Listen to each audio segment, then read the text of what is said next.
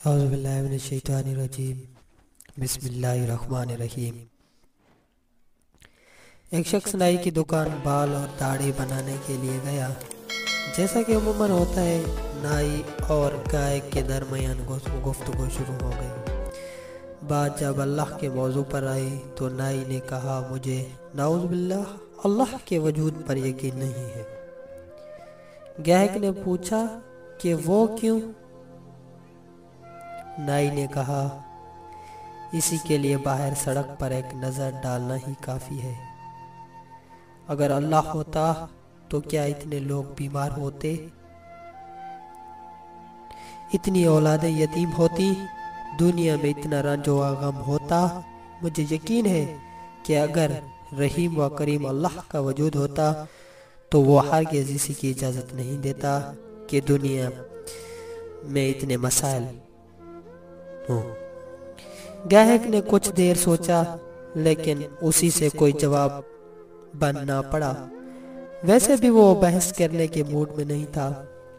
नाई ने उसी के बाल और दाढ़ी बनाई और वो पैसे देकर दुकान से बाहर निकल आया।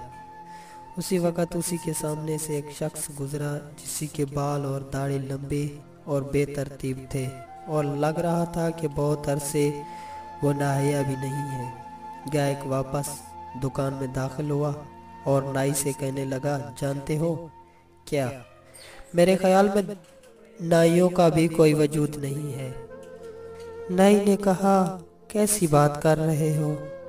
मैं नाई हूँ और तुम्हारे सामने मौजूद हूँ। अभी अभी तुम्हारी दाढ़ी और बालों की हजामत की है। मैंने कहा, ना कि कोई वजूद नहीं है नाइयों का। अगर होता तो ऐसे लोग हर गिजर नज़र ना आते, जैसा मैंने अभी अभी तुम्हारे दुकान के सामने से गुजरते देखा है। लंबे और उलझे बालों और दाढ़ी के साथ। नहीं जनाब, नाई तो मौजूद है। अब अगर ऐसे लोग हमारे पास ना आए तो हम क्या कर सकते हैं? बिल्कुल यही बात है। अल्लाह भी हर जगह और हर जमाने में मौजूद है।